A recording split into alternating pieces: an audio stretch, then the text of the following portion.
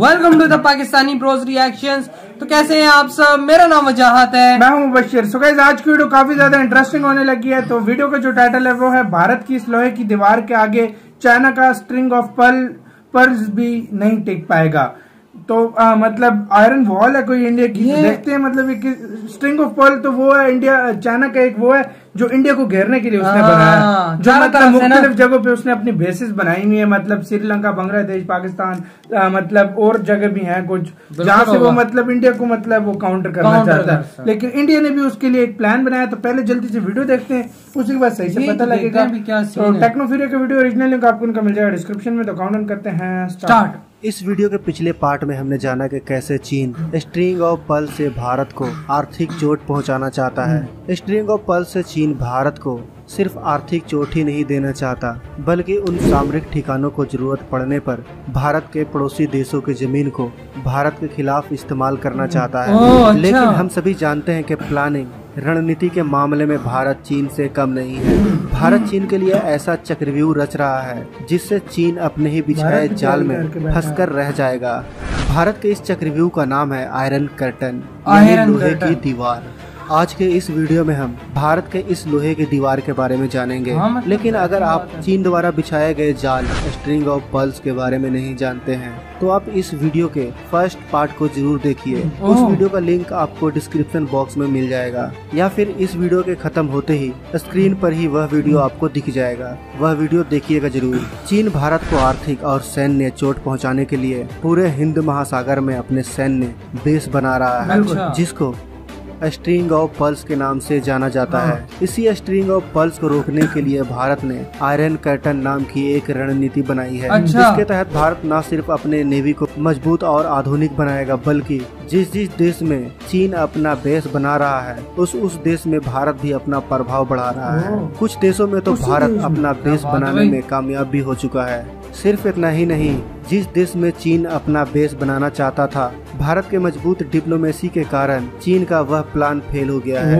भारत ने चीन के स्ट्रिंग ऑफ़ पल्स को काउंटर करने के लिए अपना सबसे पहला बेस अपने पड़ोसी देश ईरान में तैयार किया है। क्योंकि चीन पाकिस्तान के ग्वादर पोर्ट को ज़रूरत पड़ने पर अपने नेवी के लिए भारत के खिलाफ मतलब इस्तेमाल कर सकता है। इसलिए भारत ने ईरान के चाबहार पोर्ट को डेवलप करके पश्चिमी हिंद हाँ, महासागर में चीन पर शिकंजा कसना चाहता है। सिर्फ़ यही नहीं चाबहार पोर्ट को भारत अपनी आर्थिक स्थिति मज़बूत करने के लिए भी इस्तेमाल करेगा। भारत ईरान अफ़गानिस्तान के रास्ते सेंट्रल एशिया से होते हुए रूस यूरोप तक अपने सामान को भेज पाएगा। पाकिस्तान के ग्वादर पोर्ट से चाबहार पोर्ट की दूरी महज 70 किलोमीटर की है। तो आप समझ सकते हैं कि भारत का यह लोहे की दीवार चीन के स्ट्रिंग ऑफ़ पल से कितना नज़दीक है। भारत के आयरन कैटन का अगला पड़ाव है अफ़गानिस्तान। अफ़गानिस्तान हम्म, और भारत के रिश्ते काफ़ी गहरे हैं। अफ़गानिस्तान ने बीते कुछ सालों में काफ़ी नुकसान झेला है। एक सच्चा दोस्त होने के नाते भारत अफ़गानिस्तान में पार्लियामेंट हाउस रोड्स डैम आदि को डेवलप कर रहा है। अगर पाकिस्तान अपनी ज़मीन का इस्तेमाल भारत के खिलाफ होने देगा तो भारत भी अफ़गानिस्तान। के रास्ते पाकिस्तान को सबक सिखा सकता है। इसके बाद एक और मुस्लिम कंट्री है जो भारत को हर समय मदद करता रहता है। अच्छा। ओमान भारत को हर मुश्किल समय में मदद तो करता ही है? साथ ही वह अपने फोर्ट में भारतीय नौसेना को स्टे करने का भी परमिशन देता है सिर्फ़ इतना ही नहीं सुनने में यह भी आ रहा है कि ओमान अपना एक हाँ। पोर्ट जिसका नाम डोकम पोर्ट है उसे भारत को मिलिट्री इस्तेमाल के लिए भी दे रहा अच्छा। है इस पोर्ट का इस्तेमाल न सिर्फ़ हमारी नौसेना करेगी बल्कि इस पोर्ट पर भारतीय सेना और भारतीय वायु सेना भी होगी जो चीन पाकिस्तान के ग्वादर पोर्ट को घेर कर रखेगी। लेकिन एक ही पोर्ट को चीन का श्रीलंका के हमन डोटा तो पोर्ट को भारत के खिलाफ इस्तेमाल कर सकता है। इसलिए भारत मालदीव में अपना बेस बनाना हाँ, चाहता है ताकि चीन को श्रीलंका के आसपास घेर कर रखा जा सके। चीन मालदीव में भी अपना एक बेस बनाना चाहता था। मतलब लेकिन भारत और हाँ। मालदीव के बीच गहरी दोस्ती के कारण मालदीव ने चीन के इस ऑफ़र को ठुकरा दिया और भारत को वहाँ पर बेस बनाने का मौका दिया। अच्छा। सिर्फ़ इतना ही नहीं मालदीव के अंदर भारत तो के रडार स्टेशन भी के है जो। समुद्र में घुसपैठियों पर नज़र रखने में मदद करती है। श्रीलंका चीन के स्ट्रिंग ऑफ़ पर्ल्स के लिए काफ़ी महत्वपूर्ण है। जितना महत्वपूर्ण यह चीन के लिए है उतना ही महत्वपूर्ण यह हमारे लिए भी है। बिल्कुल। क्योंकि हम सभी जानते हैं कि चीन ने श्रीलंका के हम्बन टोटा पोर्ट को निन्यानवे सालों के लिए लीज पर ले रखा है अच्छा। पिछले कुछ समय पहले यहाँ पर चाइनीज़ नेवी के सबमरीन को भी देखा गया था जिससे यह साफ़ हो गया था कि चीन हम्बन टोटा पोर्ट को सैन्य बेस के रूप में भारत के खिलाफ अच्छा। इस्तेमाल कर सकता है लेकिन भारत चीन को ईट का जवाब पत्थर से देने के लिए तैयार हो चुका है सुनने में यह आया है कि भारत श्रीलंका के कहने पर श्रीलंका में। एयरपोर्ट डेवलप कर रहा है जिसको भारत और श्रीलंका दोनों ऑपरेट करेंगे। लेकिन यह एयरपोर्ट अब तक कितना डेवलप हो चुका है इसके बारे में किसी के पास ज़्यादा जानकारी नहीं है। लेकिन अगर भारत इस एयरपोर्ट को डेवलप कर लेता है तो चीन के स्ट्रिंग ऑफ़ पल्स की मौत हो जाएगी। क्योंकि चीन कभी इस क्षेत्र में सैन्य गतिविधियाँ करता है तो भारत की तो इस पर पूरी नज़र रहेगी। हैं। हाँ ना। बांग्लादेश चीन को अपने चीटागांव पोर्ट को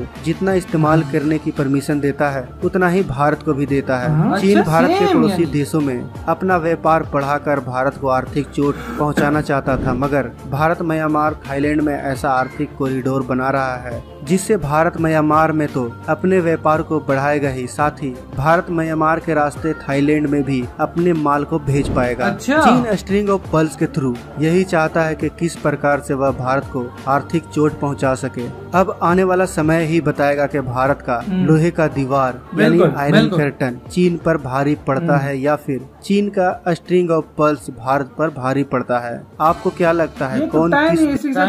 खत्म। ये तो टाइम ही बताएगा। गैस आप लोगों को क्या लगता है वो कमेंट सेक्शन में आप लोग यार बताइएगा लेकिन मुझे इंडिया की काफ़ी यार इंडिया का काफ़ी अच्छी स्ट्रेटेजी मुझे खुद लगी है वजाहत मतलब हर strong जहाँ जहाँ उन्होंने लगाए वहाँ वहाँ उन्होंने बेसे उसके करीब करीब मतलब इंडिया ने अपनी बेसिस बनवा ली जो की मतलब एक बहुत ही मतलब एक माइंड गेम की अगर चाइना कुछ पंगा लेता है तो इंडिया तो इंडिया वहीं से मतलब काउंटर कर सकता है जो कि बहुत इजी मतलब चाइना को हिलने तक नहीं देगा जगह से इंडिया यार ज़ाहिर बात है अब देख चाइना मतलब अपने एक चाइना को भी ये बात पता है कि फ्यूचर में मुझसे कौन टकरा सकता है इंडिया- अमेरिका में था मुझे मुझे पता है 2000 2010 तक मतलब अमेरिका बहुत पीक पे था।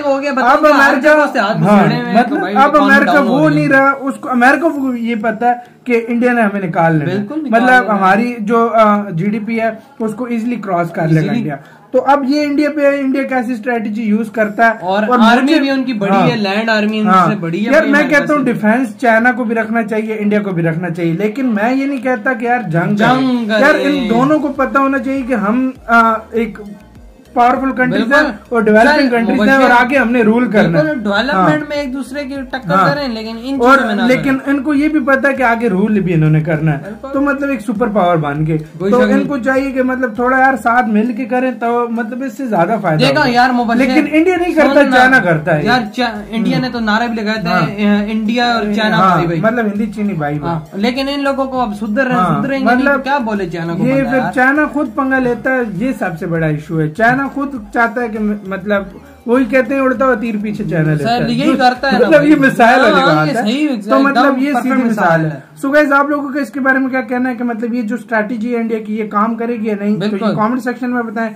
इधर वीडियो खत्म करते हैं अपना बहुत बहुत ज़्यादा ख्याल बाय